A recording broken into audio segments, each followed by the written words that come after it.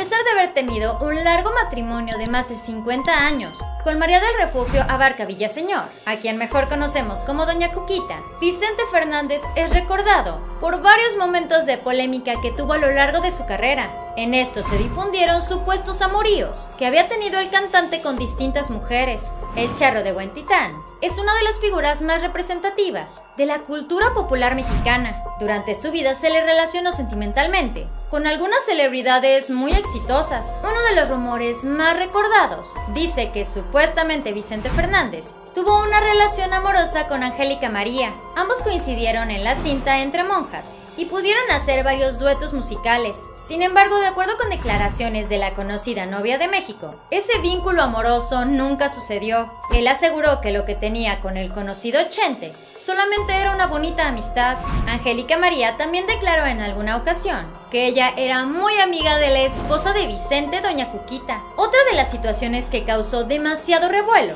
ocurrió hace algunos años cuando Patti Navidad visitó el rancho del cantante. En aquel momento, circuló un video donde ambos se dan un beso de piquito. Sin embargo, fue el artista quien afirmó que el momento solo fue una muestra de cariño y respeto hacia Vicente Fernández. Qué cariñosa salió la Patti Navidad, ¿no crees? Durante la década de los 70, el icono más grande de la música mexicana supuestamente tuvo una relación con Merle Uribe, una mujer que también ha sido relacionada con Diego Armando Maradona. Acerca de ese amorío, Uribe ha mencionado que siempre tuvo bien claro que don Vicente no iba a terminar su matrimonio bajo ninguna circunstancia. Además, reveló que durante el tiempo que estuvo acompañando al cantante durante sus giras, notó que llegaba a hacer algo codo con ella, además de que nunca fue detallista. Uribe comentó que cuando ellos destaparon su relación, su mamá se puso bien sentida con ella y hasta se dejaron de hablar. Sin embargo, posiblemente la relación más polémica que existió en torno a la vida de Vicente Fernández fue su romance extramarital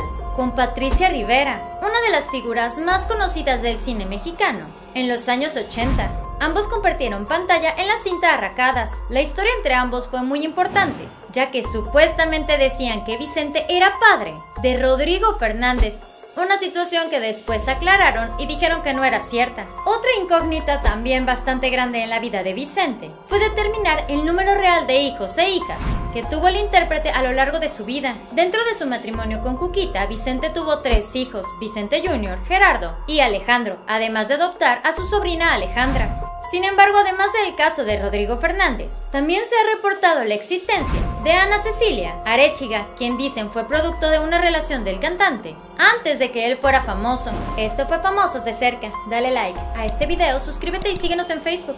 Espero que tengas un excelente día. Nos vemos muy pronto. Bye.